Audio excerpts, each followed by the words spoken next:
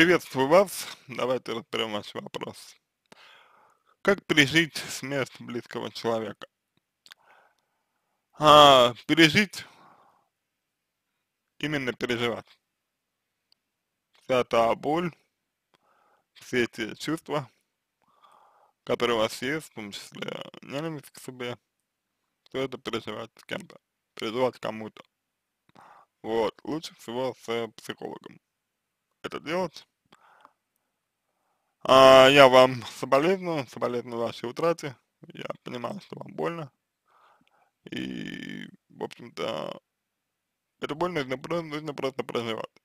Столько, сколько. Сколько нужно. Бабушка была в тяжелом состоянии, она сильно страдала от боли. Вначале, как она попала в больницу, я не думала, что так все обернется. Ну, смотрите. А, здесь и дальше вы убираете неоднократно на то, что а, бабушка была как бы ограничена в выборе, как будто бы.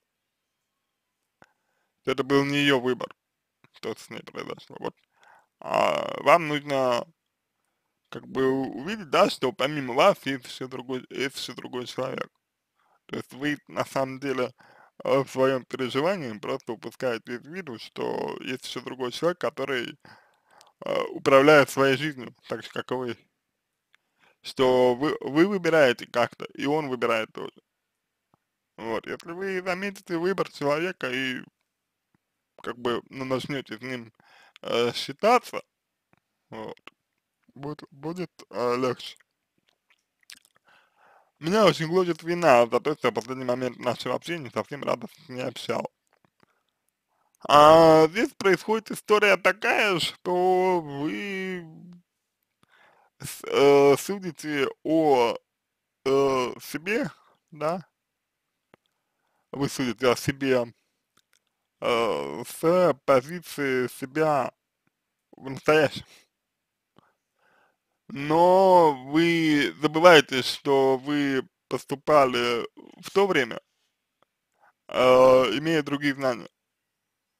И то есть вы предполагаете здесь, что вы должны предсказывать будущее. Вот. Знаете, да, как у вас требования к себе? Общаться с человеком э, на постоянной основе так, как будто его завтра не станет, довольно сложно э, на эмоциональном уровне. Это не означает, что вы не можете злиться. Это не означает, что вы не можете быть злой и так далее. А, потому что человек бывает разным.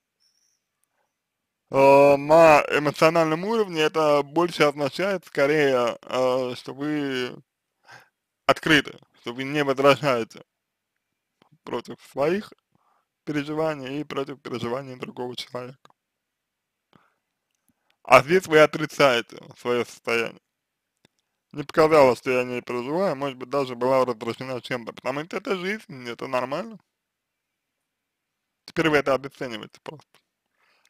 Я, понимаете, это была последняя возможность не общаться, я себя за это, э, за, я себя очень виню за это.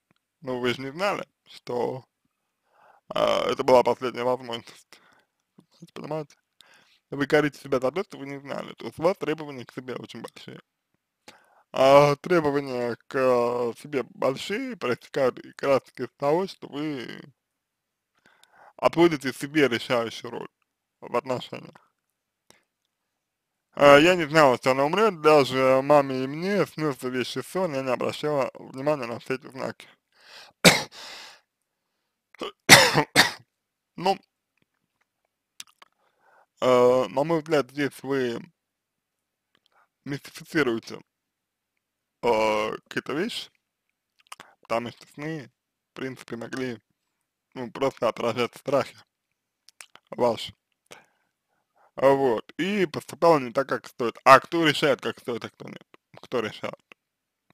Мне ужасно больно. Да, вам больно и больно нужно проживать я считаю, что не заслуживаете дальше. Я думаю, что вы и раньше э, так считали, я думаю, что и раньше у вас были такие обесценивающие тенденции именно в силу того, что вы э, себе решающую роль э, отдаете в отношениях с людьми.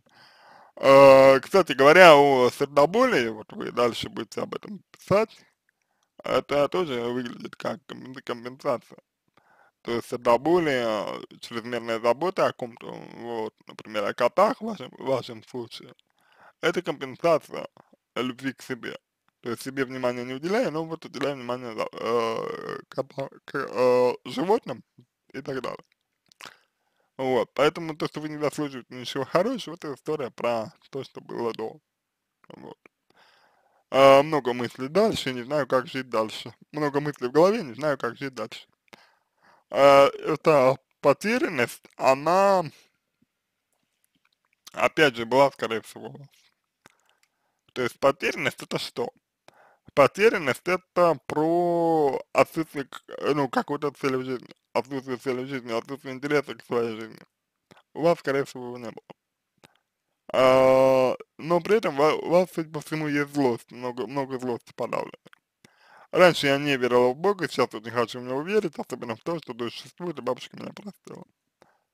А, вот опять просто подумайте, с а, с чего бы ей вас не прощать.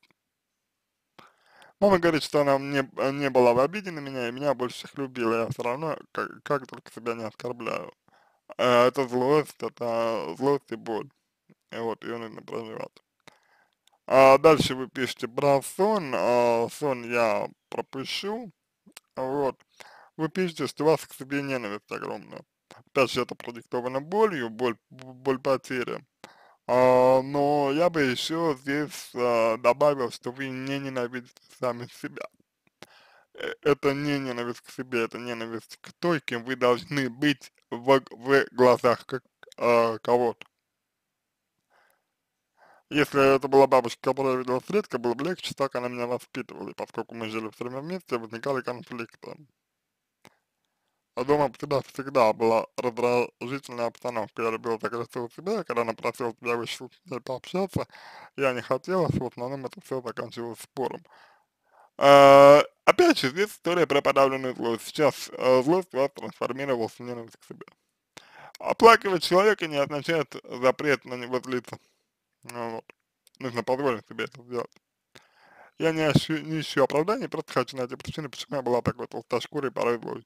Да потому что для вас это было актуально, вы себя защищали. Это состояние было для вас актуально. Еще так вышло, что дома у нас развелось много, много котов. Э, не развелось, не развелось, вы их развели. Это ваша ответственность. Ну, в смысле, вы с бабушкой, я имею в виду. Мы из-за сердобыли не могли их вынести. Вот видите, да, опять, кто мы? Нет, мы. Есть вы, бабочка. Вы конкретно. Из, из своего сердоболя не могли их вынести. А сердоболь это что? Сердоболь это как раз таки возвеличивание себя и принижение друг другого. Без меня ты не выживешь. А на них уходило много денег, она себе во многом отказывала, это тоже послужило причиной ее болезни, смерти. Ну, откуда у вас такая информация, это отдельный вопрос. А, вот. Но то, что это был ее выбор, это факт. А, вот. И вам нужно с этим выбором считаться. Я не могла все изменить. А должны были. К тому же моя бабушка была упертой, длительное время не ходила к врачам, усугубляя состояние здоровья. Опять же, это ее выбор. Вам нужно ее выбор принять.